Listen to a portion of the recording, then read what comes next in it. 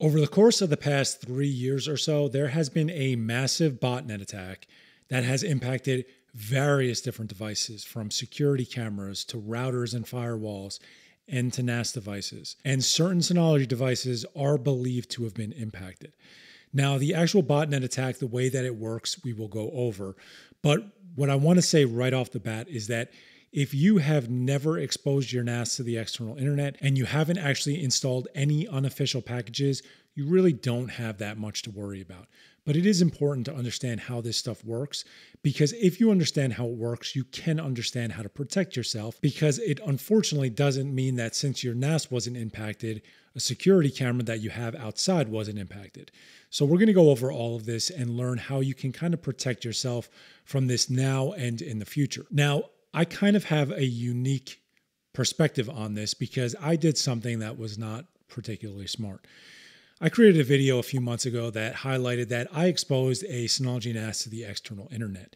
And when I did that, I said that I did it to try and find out exactly where the attacks came from, where the actual unauthorized login attacks came from. And what I didn't tell you is that I did leave the actual admin account activated and I set it to a very basic password. And I did that because I wanted to try and get the NAS to have some sort of a ransomware attack on it. And what I did is I basically set up the NAS with various different levels of protection. So, various shared folders, and some shared folders had snapshots enabled, and other shared folders didn't.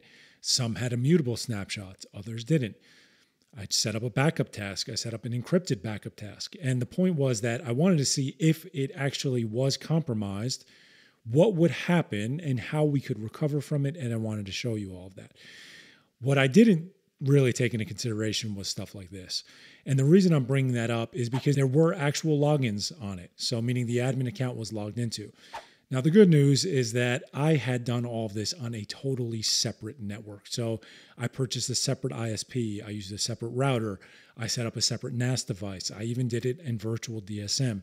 I just tried to put as many protections as I could. But when I saw this, it made me look at myself and say, was this device actually compromised in this? And I don't believe it was, but let's go over everything so that you could see kind of how all this works. All right, so on this test network, this is basically the layout. This is a sneak peek of next week or the week after's video, but Basically, in this isolated test network, I have a separate broadband modem that feeds into a Synology router, and I have the device I'm on right now, that's the PC, and this is the DS923 Plus that I expose to the external internet. But it's really virtual DSM instance, so as you can see, the default admin account is enabled. Um, so inside of the actual log center, you can see that there were login attempts, and there were more login attempts, but I cleared the logs at some point. I don't really remember why.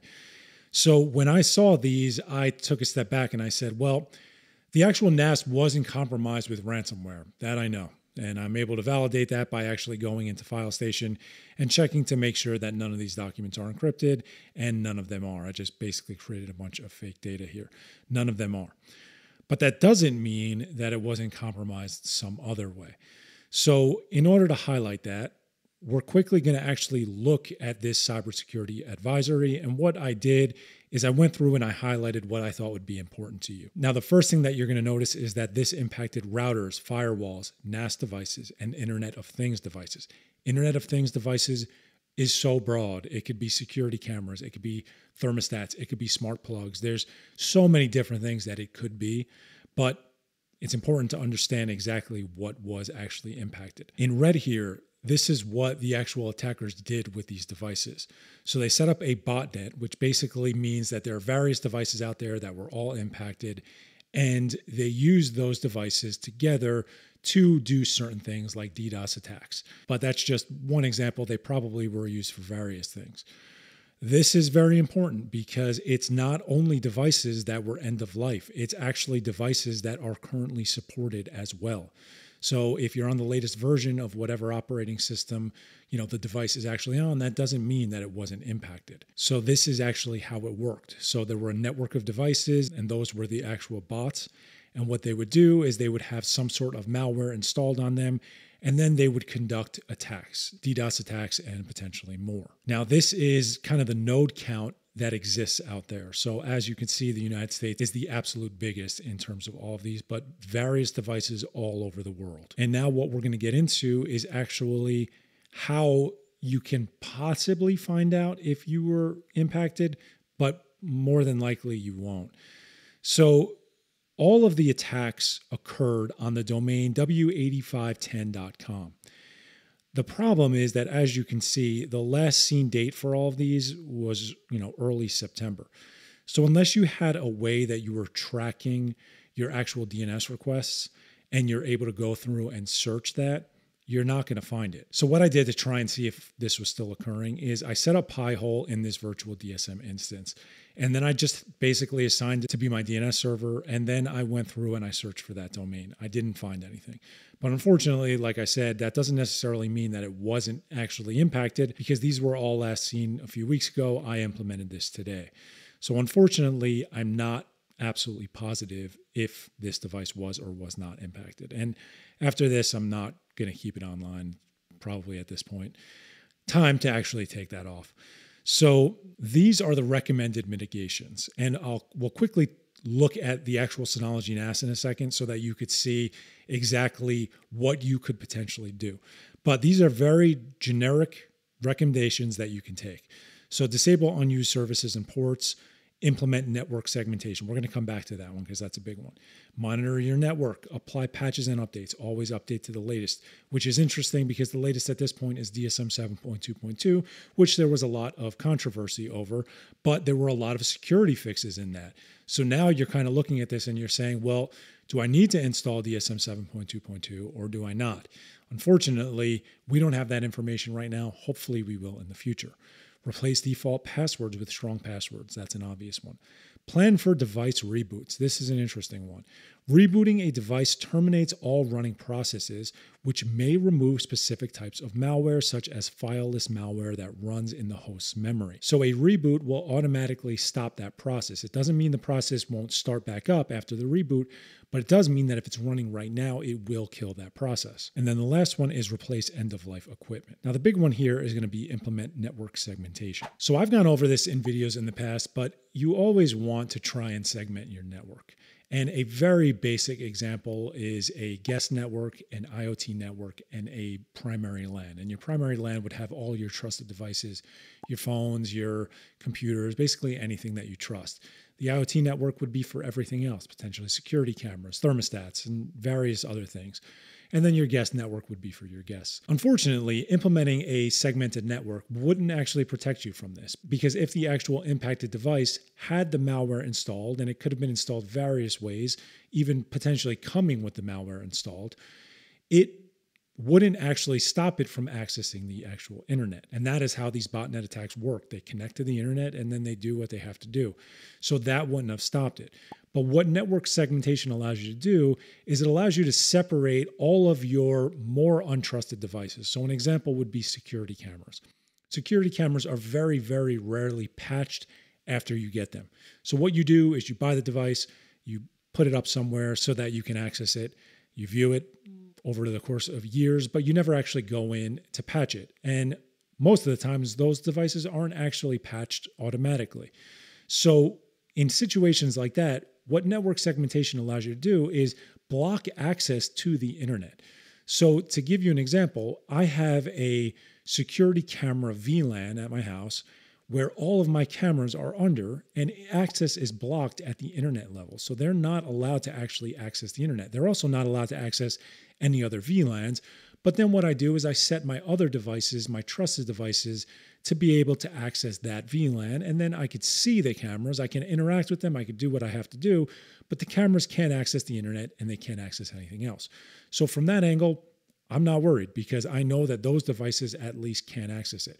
For other devices like thermostats and, and smart plugs and stuff like that, I don't think you can really protect yourself from that specific type of attack if you didn't go in and actually install anything maliciously and the device itself came actually impacted. Now, I don't have any reason to believe that they were. I'm just using that as an example. Now, to try to highlight to you what actually was impacted, this is a. Um, I'll leave a link to this in the description. I I downloaded it so that I could highlight some of the important things here. But these are some of the devices that were actually impacted. And what you're going to see is you're going to see a lot of, you know, common names here that you've probably seen in the past.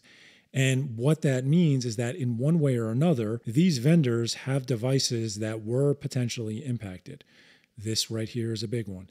Um, what you have to do though is you have to go through and see what vendor it is and see what was impacted. This is an older version, so you most likely, if you're running any Ubiquiti gear, you wouldn't have to worry about that. But the point is that at some point, these could have been impacted, and that's why staying up to date is so important for this stuff. What you're not going to find on here is Synology. So that's where you start to question was it actually impacted or was it not? I don't think we have that information right now. The belief is that it was impacted. But in terms of this actual device here, you'll see QNAP, you'll see, you know, Buffalo, you'll see a few other NAS vendors, but you're not going to see Synology. So does that mean that they were impacted? No. Does that mean that they weren't impacted? No. I don't think we know. But what you can do to protect yourself is two things. One, never expose the NAS to the external internet. That's obvious. But the first thing that I looked at is I went through and I checked to see if those unauthorized login attempts had actually attempted to set up a router. So in the, the router configuration here, there's something called UPnP, and UPnP should always be turned off. But UPnP will port forward on your behalf. So my train of thought was the device was impacted. Did they go in and try and actually port forward port 22 because they had admin credentials? Did they try and port forward port 22 so they could access the shell externally install whatever and manage it remotely. And they didn't.